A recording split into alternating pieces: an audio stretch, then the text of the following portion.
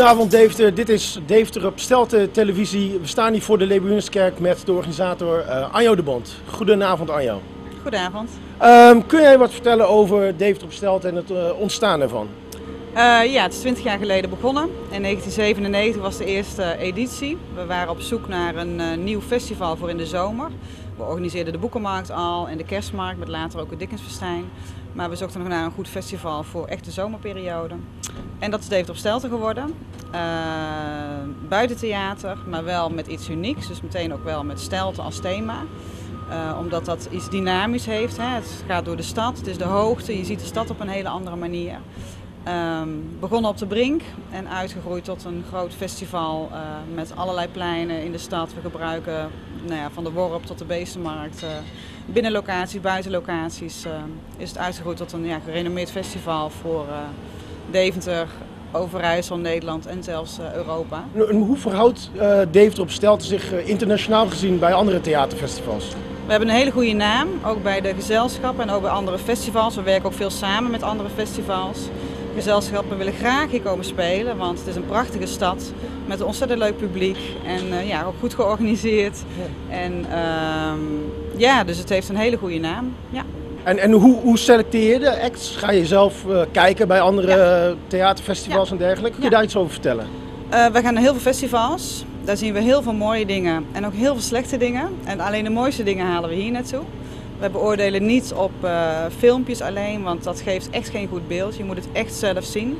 We zien heel vaak filmpjes van tevoren en dan denk je, oh dat ziet er fantastisch uit. En in het echt valt het dan toch echt tegen. Of het is maar vijf minuten heel gaaf en de rest van de voorstelling, niet zo. Uh, maar we gaan ook soms voor één voorstelling uh, naar Zuid-Frankrijk of kijken. En ehm, ja, ik denk dat, ze, dat ik nou ja, 40, 50, 60, heel veel voorstellingen zie per jaar. En ja, de mooiste haal je hier naartoe. Dat, Um, even verder over op Stelten zelf. Hoeveel, ja. hoeveel mensen zijn erbij betrokken, vrijwilligers? Uh, kun je daar iets over vertellen? Uh, ja, de voorbereiding doen we alles met een vrij klein hecht team, met vier, vijf mensen. Uh, in de uitvoering zijn het er bijna 350. vrijwilligers via de scouting, EHBO, de guards, mensen van de gemeente, team toezicht, security, allemaal mensen die betrokken zijn, politie, gemeente. Dus dan is het echt een heel groot team van vrijwilligers en medewerkers, professionals en ja. volunteers. Ja. Kun je wat vertellen over acts die, die dit jaar op het festival staan en wat, wat raad je aan? Alles. ja, weet je, het David op Stelten is meer dan uh, één voorstelling. Het is juist de combinatie. Hè? Als je naar dit grote spektakel op het Grote Kerkhof gaat en je ziet er naar een hele mooie voorstelling, veel poëtischer in de Bergkerk. En je gaat naar de Schouwburg en je ziet een spectaculaire binnenvoorstelling. Ja, die combinatie maakt het zo leuk. Uh, op de Worp hebben we een hele gave voorstelling, weer heel erg grappig. Uh, op de Beestenmarkt weer echt een steltevoorstelling. Dus die combinatie, dat is echt ja, het leukste van het festival. Dus je loopt door de stad, je maakt een planning, je kiest van tevoren uit waar je heen wil. Uh, op Berilplein staat een hele mooie voorstelling, maar ook op het klooster weer een hele kleine voorstelling, maar ook weer ontzettend goed gedaan en weer heel anders dan andere voorstellingen. Dus ja, totaal maakt het zo leuk.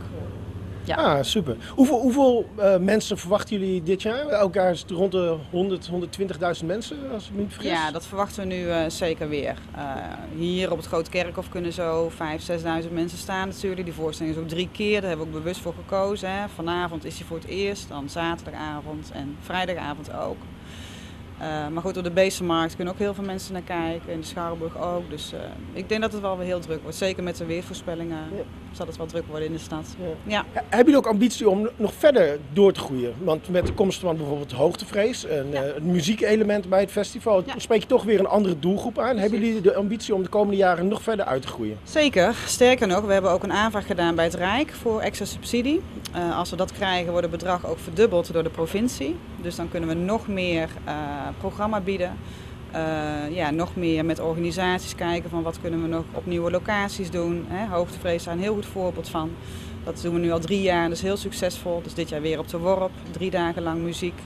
Dus um, nee, wat ons betreft kan het dan nog ja, groter in de breedte. Dus niet nog meer grotere acts. Natuurlijk, het kan zomaar zijn zo'n hele gave act zien die we dan een keer naar Deventer halen. Maar er zijn nog, nog meer locaties waar we zeker nog wat kunnen doen. Dus uh, ja. graag, ja. Nou, goed om te horen. Nou, in ieder geval, uh, Anjo, ik wil je hartelijk bedanken voor dit interview. Volgens mij worden het een paar uh, schitterende dagen weer in Deventer met prachtige acts door de hele stad heen.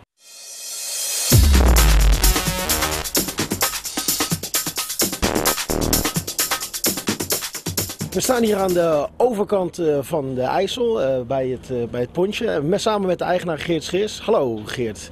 Hallo. het is Deventer op Stelten dit weekend. Um, er zijn verschillende manieren om naar de overkant te gaan. We hebben natuurlijk de brug, maar we hebben ook het pontje. Kun je wat vertellen? Verwacht je veel drukte met, met, het pontje? Hoe gaat het allemaal in zijn werk dit, nou, dit ja. weekend? Als het weer goed is, dan verwachten we weer een hoop mensen. En, en dat is eigenlijk ieder jaar hetzelfde ja, beeld als je dan toch in, uh, ja, dan komt de massa. Hè? En nou ja, we hebben daar de voorbereidingen weer voor met het bouwen van kassa's. En, en nou ja, daar zit dan niemand in. Dus ze gaan langs de kassa op, ze kopen kaartje. En dan hoeven de ponten die hoeven alleen maar op en neer te varen. Ja, en hoe drukker het is, hoe meer ponten zetten we in. We hebben er drie liggen, dus... Uh, Kijk eens aan, dus er wordt vooraf wordt er afgerekend in ieder geval om de stroming, uh, de, de snelheid te doorstromen. Ja. En, en is het ook wel eens voorgekomen dat je alle drie de pontjes hebt ingezet? Ja, vaak genoeg. En vooral zoals toen was het helemaal hectisch toen ze hier op die, op die worp toen dat... Uh, ja, wat hadden ze toen? Die vuren uh, s'avonds allemaal. Hè. Toen was het echt uh, ja, een gekke huis. Hè. Ja, ja, ja. En dan, nou ja, we hebben er drie liggen, dus laat ze maar komen. Hè? Ja, precies. En, en, hoeveel mensen gaan er gemiddeld zo in, in Deventer op het weekend over het, over het pontje? Nou ja, wij gaan toch altijd naar de 25.000, 30.000.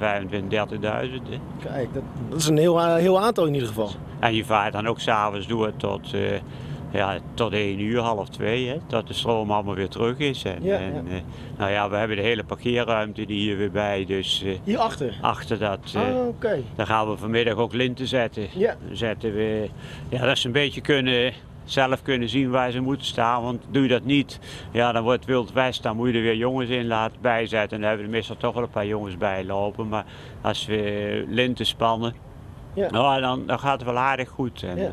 Nou ja, voor de avond of voor de nacht hebben we dan nog een lamp uh, met, met een generatie zetten we er dan bij dat het niet stikken donker is. Nou, dat is in ieder geval goed om te horen. Je bent goed voorbereid. Kassa's, extra kassa's zijn ingezet, extra pontjes, extra parkeerplaatsen. Dus mochten mensen van buiten de stad komen, hier aan de overkant van de IJssel bij de Worp heb je wat extra parkeerplekken geregeld door Geert.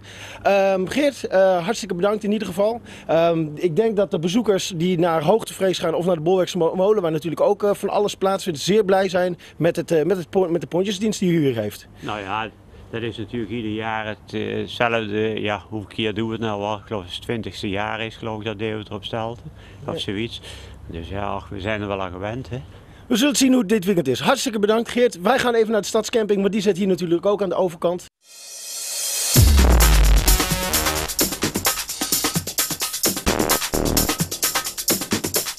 We zijn hier op de stadscamping in Deventer uh, aan, de, aan de IJssel met uh, Bert, de vrijwillig beheerder. Hallo Bert. Ja, hallo, goedemorgen. Uh, nou, het is Deventer op Stelten. Kun je wat, wat, vertellen hoe jullie dat als stadscamping ervaren? Nou, redelijk hectisch. het wordt heel erg druk. We worden oversteld door telefoontjes. En het punt wat daarbij speelt is dat de camping tot afgelopen dinsdag deels onder water gestaan heeft. Dus dat betekent ook dat we wat minder plekken hebben als voorgaande jaren. En dat geeft voor ons eh, qua planning eh, en ruimte voor gasten, eh, geeft dat wel wat problemen, ja. Komen er veel mensen uit, uit, uit, uit, het buitenland hier ook overnachten? Ja, er komen toch wel heel veel passanten. op dit moment niet echt mensen die voor, voor het evenement komen, maar veel passanten, mensen die op de fiets zijn of die met een camper langskomen. Ja, we hadden gisteren nog gasten uit Australië bijvoorbeeld. Kijk eens aan, dat is, eh, dat is leuk om te horen. En uh, vertel, er is ook een nieuw initiatief met Smurfit Kappa, uh, de, de kartonnen tenten. Ja. Uh, dat gaat niet hier zelf plaatsvinden, maar een ander gedeelte van, van volgens mij aan de andere kant van het IJsselhotel. Ja. Wat kun je daarover vertellen? Nou, het is een heel leuk initiatief van Kappa. Die hebben eigenlijk kartonnen tenten bedacht. Die overigens wel waterproof zijn, in elk geval voor, voor dit weekend wel. En die komen te staan op het terrein tussen het Pontje en de Wilhelminabrug. Eh, wij zetten daar ongeveer 60 eh, tenten neer en mensen hebben daarop in kunnen schrijven zodat ze daar eh, comfortabel kunnen overnachten en zich niet druk hoeven te maken over het opzetten van de tent bijvoorbeeld. Voor een heel specifiek terrein. Oh. Kijk, dus daar wordt gewoon alles op ingericht, toiletten en dergelijke, aan alle faciliteiten wordt gedacht. Uh, ja, inderdaad, er wordt stroom aangelegd. Het wordt, uh, zelfs het terrein wordt helemaal geëgaliseerd op dit moment. En uh, we gaan straks die tenten gaan we opzetten.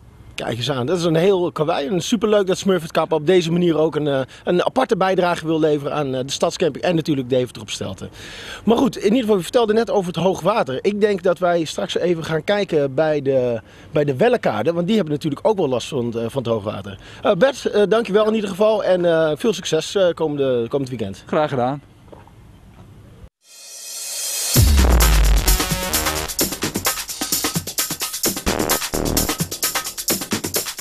Meneer André, het hoogwater kwam niet zo als verwacht dit jaar. Nee, dat kwam uh, iets uh, te veel omhoog in de maand juni. Dat we het eigenlijk niet meer verwachten. Maar ja, het is toch door het noodweer in Duitsland is de IJssel toch wat hoger geworden. Maar een, een meer dan een maand lang is natuurlijk wel een unicum. En nu gaan we met mannenmacht proberen om morgenavond operationeel te zijn. Je ziet het achter mij dat het, hè, de, de crew is bezig. De beginselen zijn daar en we hopen morgenavond operationeel te zijn. Kijk, dat is een hele klus. Uh, en uh, vervolgens komt uh, de barren en de terrassen komen hier weer te staan. En morgenavond dan uh, kun je weer mensen verwachten in principe. Dat hopen we. Ja, het weer werkt gelukkig het weekend mee, heb ik meegekregen. Dus dat geeft de burger weer een beetje moed. En dan gaan we met frisse moed het weekend weer aan het werk hier. Kijk eens aan. Nou, dat zijn in ieder geval goede berichten. Gerard, hartstikke bedankt in ieder geval. Uh, ik wens je heel veel succes met, uh, met de opruimwerkzaamheden. En uh, dan komen wij van het weekend nog wel even langs op het schone terras zitten. Kom eens even lekkere consumptie nemen op het Welle terras.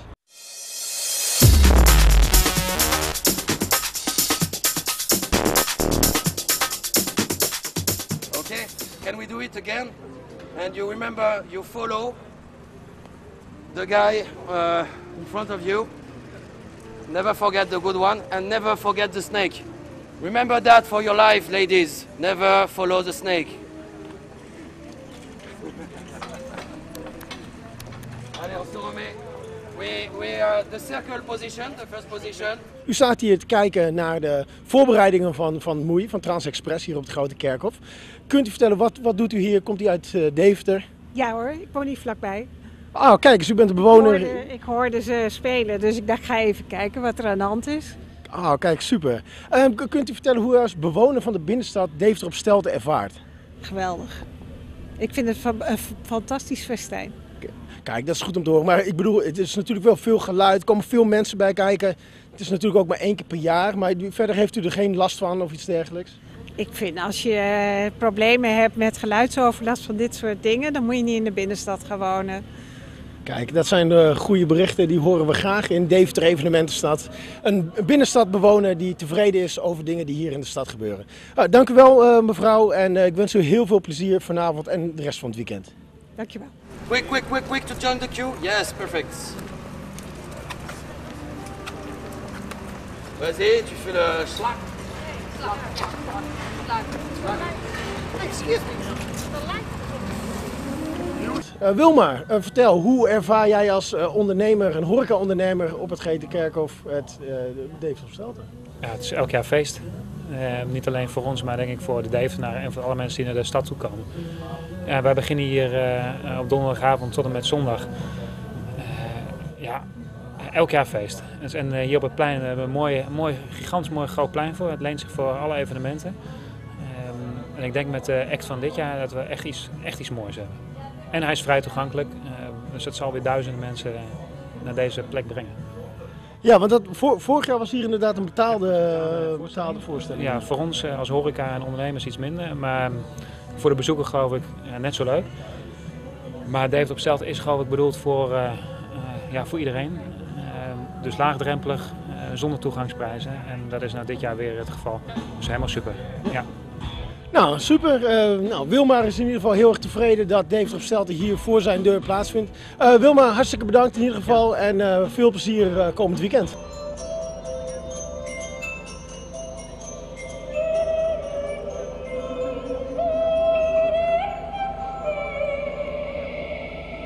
We zijn hier op het Grote Kerkhof waar de laatste repetitie plaatsvindt van Trans Express. Uh, de spelers komen er net aan. Iedereen uh, is met de laatste oefeningen bezig. Vanavond om half elf op het Grote Kerkhof. Ik zie jullie vanavond.